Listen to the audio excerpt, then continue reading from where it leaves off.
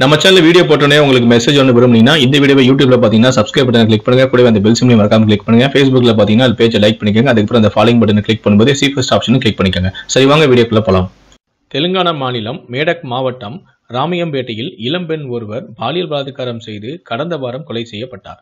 இது குறித்து போலீசாரும் வழக்கு பதிவு செய்து விசாரணை நடத்தினார்கள்.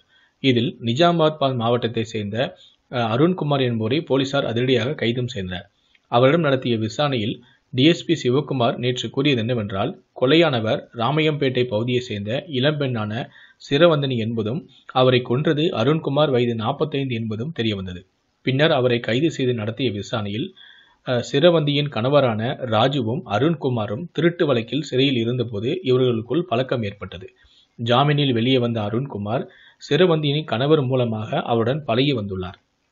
அப்போது தன்னிடம் இரண்டு கோடிக்கு மேல் சொத்து இருப்பதாகவும் ராமையம்பேட்டையில் உள்ள ஒரு இடத்தில் நகை மற்றும் பணத்தை பதுக்கி வைத்திருப்பதாகவும் சிவரந்தனியிடம் ஆசை வார்த்தை கூறியுள்ளார். மேலும் சிரவந்தியை நம்ப வைக்கும் விதமாக தங்க நகைகள் வாங்குவதற்காக நகை கடைக்குச் சென்று ஆர்டர் வாங்கி வந்துள்ளார்.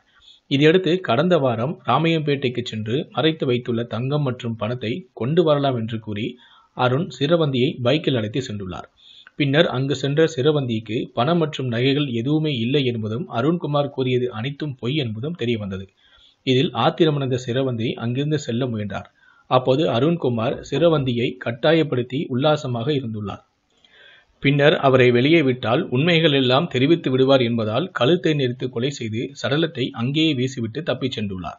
அருண்குமார் சிரவந்தியை பைக்கில் அழைத்து சென்றது சிசிடிவி கேமராவில் பதிவானதன் ஆதாரமாக வைத்துதான் அவர் கைது செய்யப்பட்டார் எனவும் ஏற்கனவே அருண்குமார் மீது மூன்று கொலை வழக்குகளும் பல திருட்டு வழக்குகளும் இருப்பதும் தெரியவந்துள்ளது என்றும் அவர் கூறியுள்ளார்.